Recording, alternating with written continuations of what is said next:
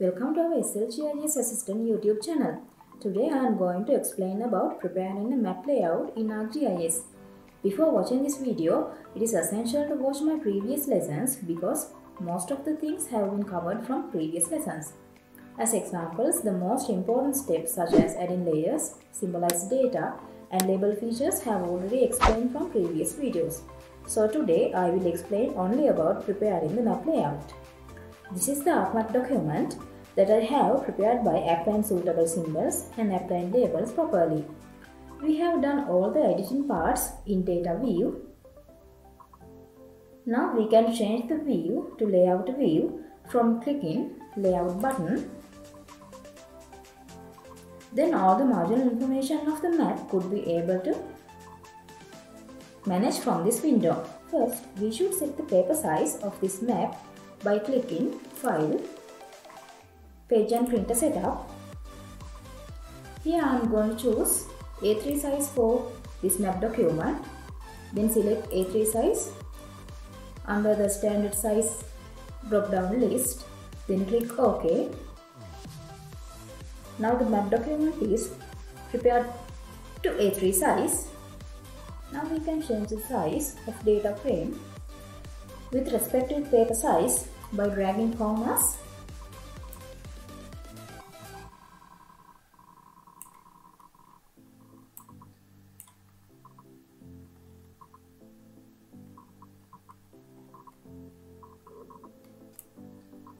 Now I am going to apply a suitable scale for this map by considering the area. First, click zoom to whole page. Now I am going to fix the scale into 1 into 250,000.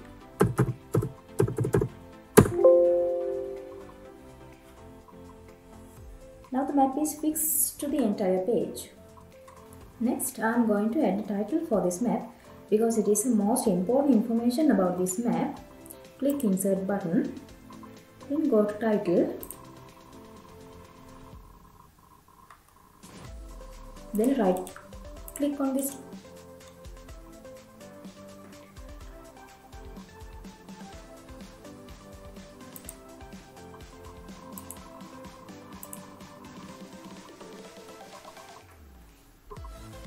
Then right click on this text box. Then go to properties.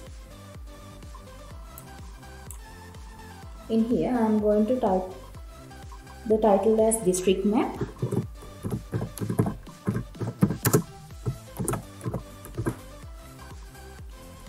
then I can change the symbols from clicking change symbol tab. I'm going to change the colors and size of the heading.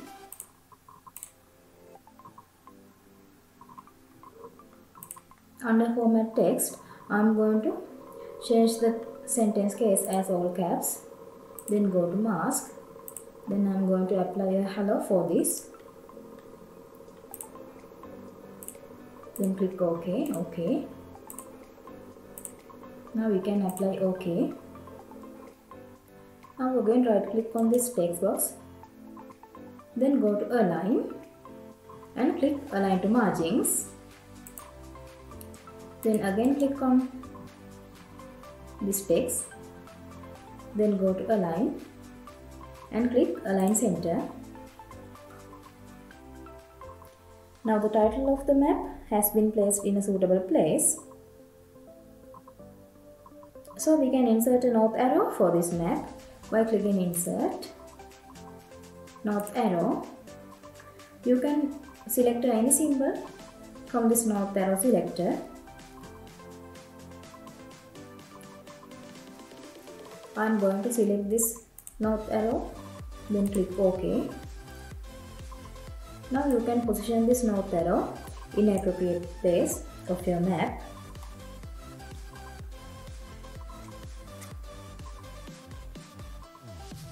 After that, we should add a legend for this map because the symbolized features should be understand to the user. Click insert, then click on legend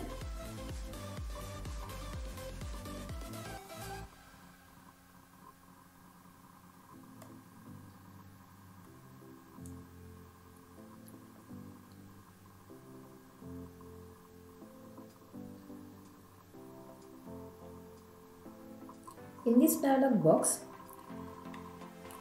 you can select the layers that you want in legend. I'm going to select this tourist, then click next arrow. And uh, transport layer and click next arrow. Then uh, reserve polygons then click next arrow.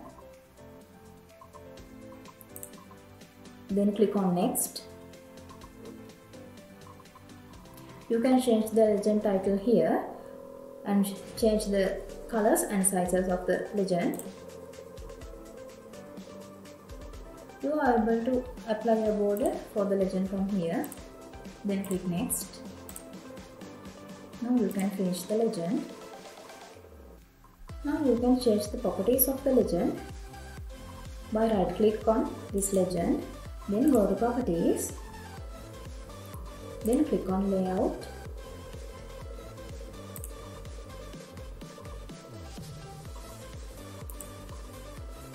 Then click on items. Now select all the layers that you have included in the legend then go to styles. I'm going to select this option. Then click OK and I'm going to tick on only show classes that are visible in the current map extent and I'm going to tick on place items in a new column. Then click apply and OK.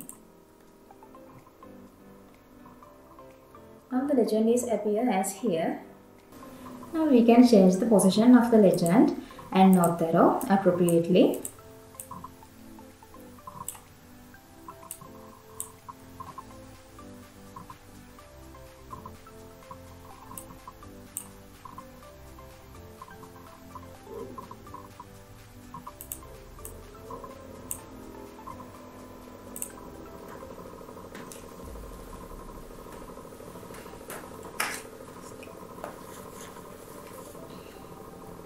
Now I'm going to insert a scale bar by clicking insert then click on scale bar. I'm going to select this option and click OK.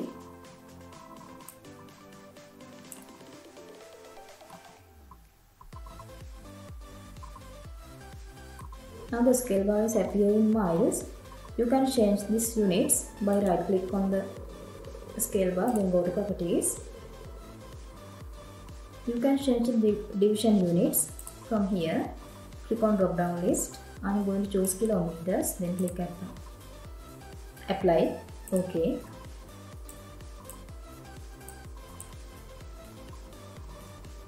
You can locate this scale bar in suitable place of this map.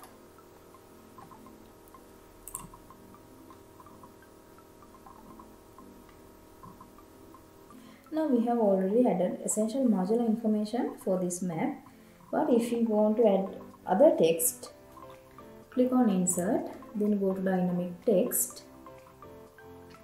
Here you can see many text types are available from this option. I am going to choose coordinate system that I have used for this map. Then click on coordinate system Now the coordinate system information can be appear from this dialog box. You can change the location of this dialog box.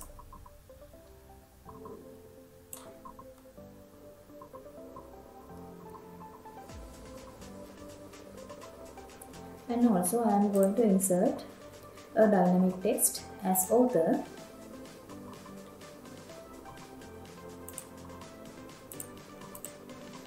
drag it here for appropriate place then again I'm click on insert dynamic text. And the date saved. Drag it also.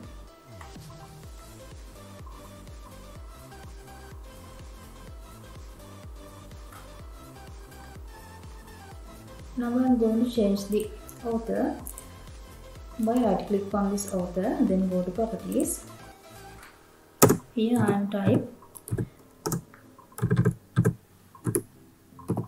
as a SLGIS assistant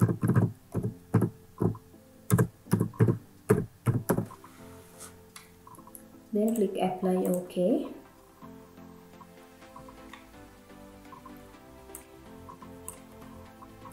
now you can group the author and date saved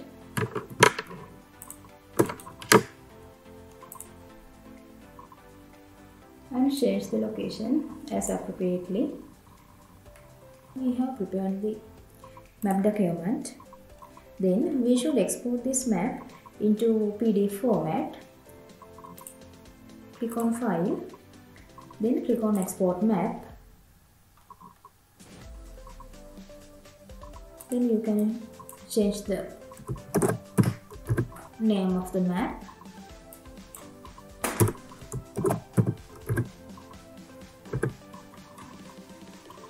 also you can select the type as PDF, JPEG or otherwise. I'm going to choose PDF size and you can change the resolution into 600 or 300 or then click save. Now we can preview our web document.